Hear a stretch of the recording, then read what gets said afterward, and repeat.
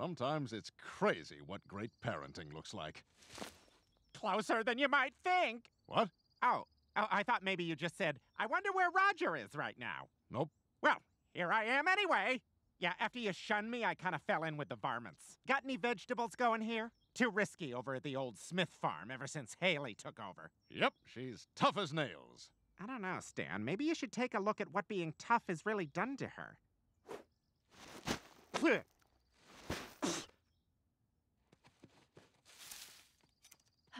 Hayley, I was wondering, since the harvest come in so good, maybe we could afford to call a doctor for Jeff Boy?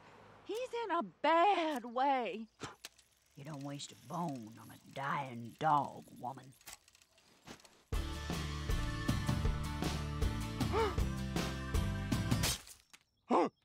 Set a pot to boil. And I don't want to hear another word out of you or you're going in the box. But Steve Boy's already in the box. I can make another box. When can I come out the box, sister? I said no talking in there. Punishment increased.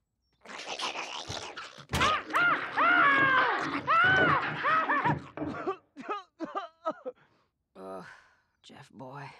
Time to take that dying dog to the woods. What he don't attract critters when he croaks.